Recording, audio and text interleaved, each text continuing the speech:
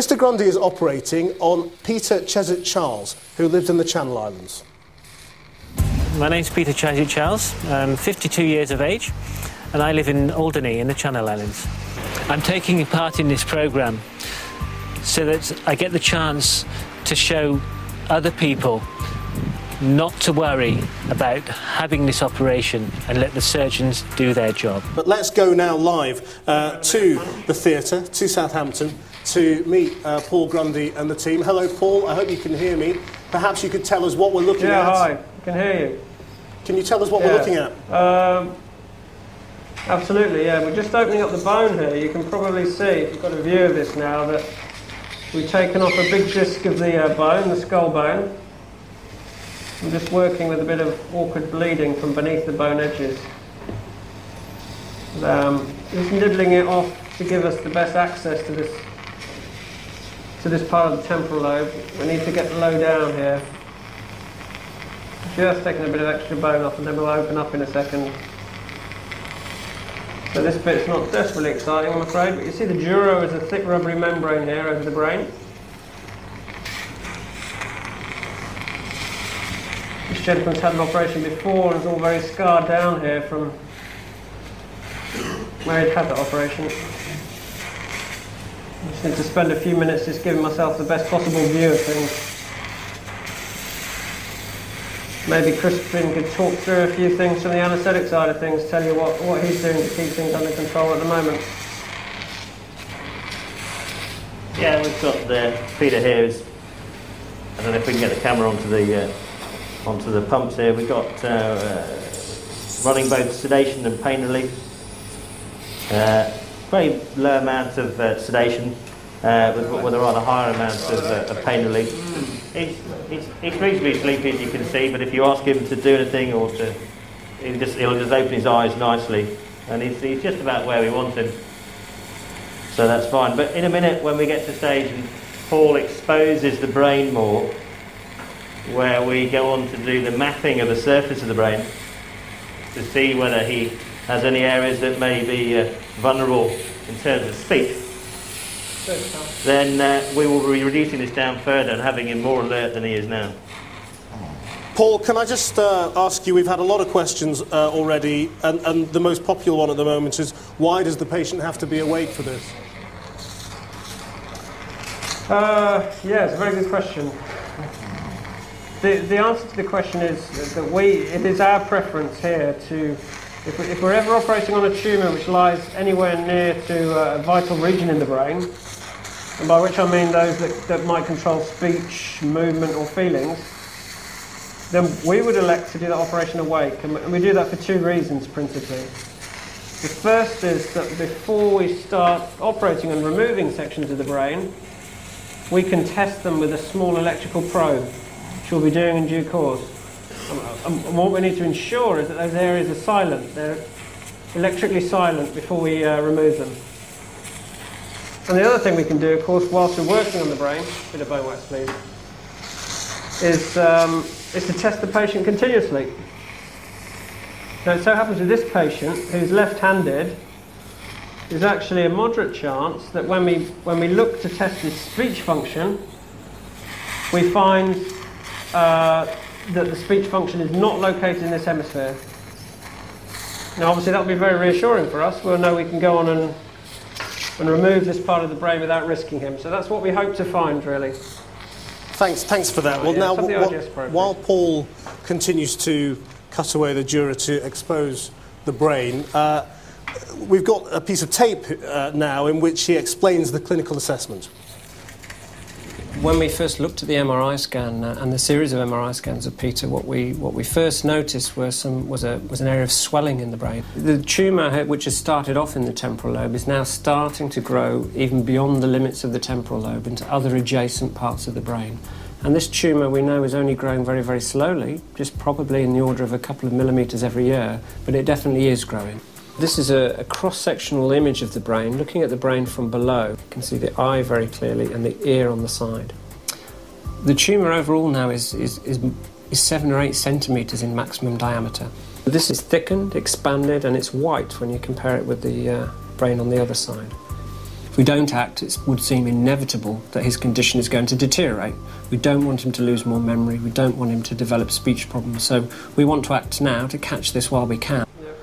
Those are the two things that I would imagine if you know, if, if they were to happen. And once we're into the procedure, Paul is going to be talking to um, the patient quite a lot and, yeah. and, trying to get responses. Now, again, it's possible that the speech could come and go in that. Um, what he, what he will we'll see him do first is to, once the temporal lobe is exposed, is to actually to stimulate with a little electrical probe the area of the brain that he's most concerned might, might, be, might carry speech.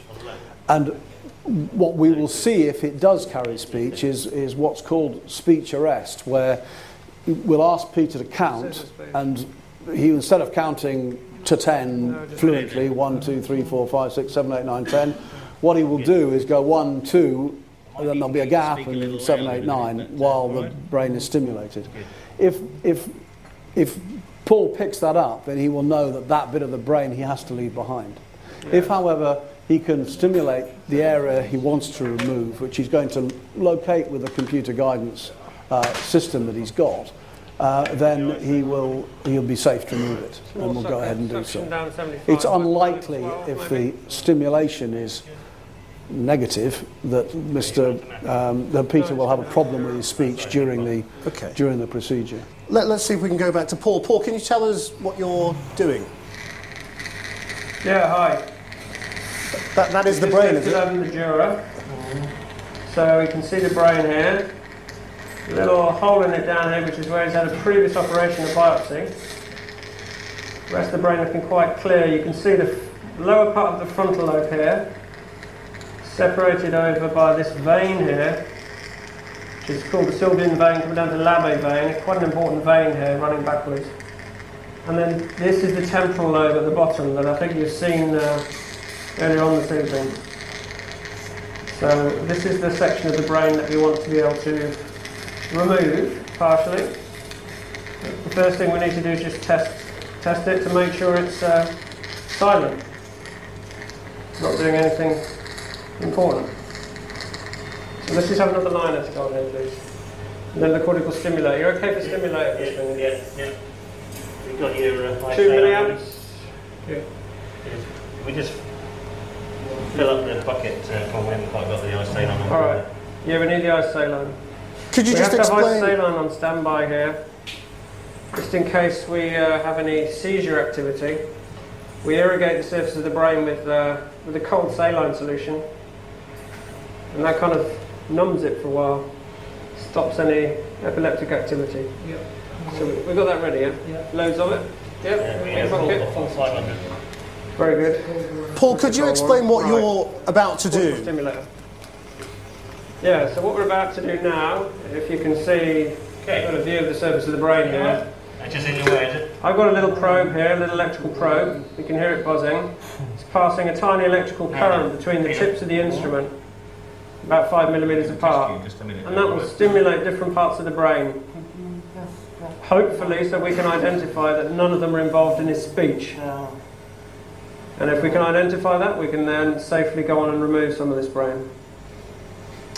So we need to do some speech tasks okay. now. Is he okay for talking yeah, now? Yeah, Now, Peter, can you hear me? Okay. Good. Well, I want to do some counting. Okay, nice and slowly. One, two, three, four. Loud as you can. Yeah. One, okay. Two, three. A bit louder. Four. One, two, three, four, five, six, seven, eight, nine, ten. One, two, three, four, five, six, seven, eight, nine, ten, eleven, twelve, thirteen, fourteen, fifteen, sixteen, seventeen, eighteen, Let's start again. 20. Okay, and from one again. One, two, three, four, five, six, seven, eight, nine, ten, eleven, twelve, thirteen, fourteen, fifteen, sixteen, seventeen, eighteen, nineteen, twenty. 21, 22, 23, 24, 25, 26, 27, 28, 29, 30. Okay, okay relax. Six forceps. Yeah, four milliamps, thanks. Okay. Okay, so that was a negative test. Uh, small. So far. Okay, we're going to raise the current slightly and try again. Okay, from one again. so- One, two, three, four, five, six, seven, eight, nine, ten, eleven, twelve, thirteen, fourteen, fifteen. Okay, I think there's just a No little bit there. twitch? Yeah. facial twitch. No, well, it, it, it, it, it probably was facial twitch. It could have You been all right, speech Peter? arrest. How you do? Okay, thank You you. Yeah. feel alright? Yeah. Just give you a smile. Let me just sort this Good. little bleeder Okay. out here now. You Okay. uh, It may have been facial muscles. It It may have may, been speech maybe, maybe the motor strip that's Okay. Okay, Alright. it certainly didn't look like probable uh, facial muscle.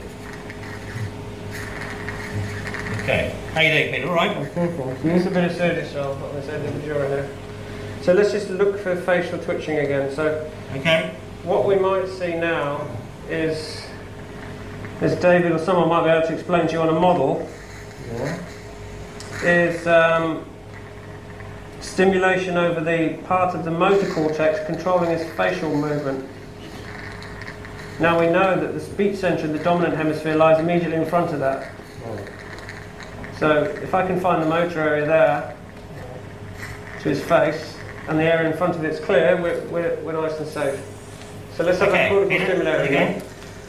Okay, counting. Counting. Yeah. One. One, two, three, four, five, six, seven, eight, nine. Yeah. Okay. Is it twitching No, face? that's not twitching the face. Rocket, huh? That looks that looks like speech arrest. Is it? Try that again. One, two, three, Yeah, give me a sec, give me a four, sec. Just okay. Just relax. Just relax. There's no obvious facial twitching. Right? No facial twitching, Yeah. just speech. That looked very like speech arrest. Okay. Just, just, just squeeze that. Squeeze that.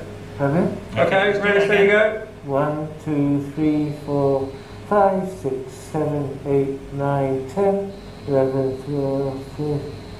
Yeah, speech arrest. It's definitely speech See, that's definitely speech arrest. So this is his dominant hemisphere. Okay. Neuropsychologist was wrong. Okay. Um, hope she's not watching. Yeah. Sorry, Ross. Just that this is the dominant hemisphere.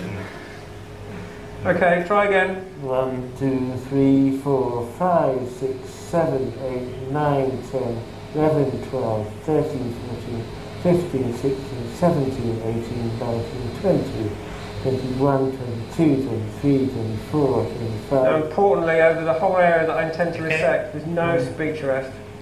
And again. All right. Yeah. Yeah, go One, again. Two, three, four, five, six, seven, eight, nine, Back to the ten, front, right? eleven, twelve, thirteen, fourteen. Yeah. yeah, Okay. every time. Okay. it's So you get to every time. Okay, so not Okay. Still. Yeah. You've Now, not Peter, still. did you, So do you understand that? we've identified Broca's. This is the dominant hemisphere. Yeah, So it just goes to Clearly show why you need to do these operations awake. You can't believe the test that you have beforehand telling you that it's not dominant. Seven. And importantly, though, the bit of brain that we need to operate on is, is silent. Bipolar, please. So two things. Do you understand that? Two things we've achieved there. Yeah. One is we found the speech area, Mm-hmm. and secondly we've identified the area that we're going to operate on. I It's clear. So, yeah, I All just- right. Okay. But we're going to keep you chatting now. Yeah. Okay. Okay. Right. Paul, if I can just clarify um, Yeah. to those people watching, what you have established is that that part of the brain that you've been putting the electrodes on is, in fact, the area that controls speech in the patient. Is that right? Yeah, this is it's one of the areas. This, this is the area actually in the lower part of this frontal lobe, just here, which is called, we call it Broca's area. Now, importantly, speech sites are very variable one person to another. And you can also have them up here in the top, in the, in the upper part of the temporal lobe. But as we saw when I stimulated over this area, no problem with this speech, only in the frontal lobe. But we're, we're, safe because we don't need to operate on the frontal lobe. What you can see if you look at the brain here, I don't know if you've got a view, is this superior temporal gyrus, this thin strip of brain here, is more white and pale than this part of the brain here. And that is exactly consistent with what I'm seeing on the navigation system when it's there. If you look here, which on the scan there, right, right in front of me, is also white and abnormal. So that's containing tumour. I wouldn't have the confidence to remove that unless I'd done this awake. We have done it awake, so we know we can safely remove that area. Okay. Bipolar, please. So what we're going to do now is just make an incision through the brain, through the back of the temporal lobe here, first of all.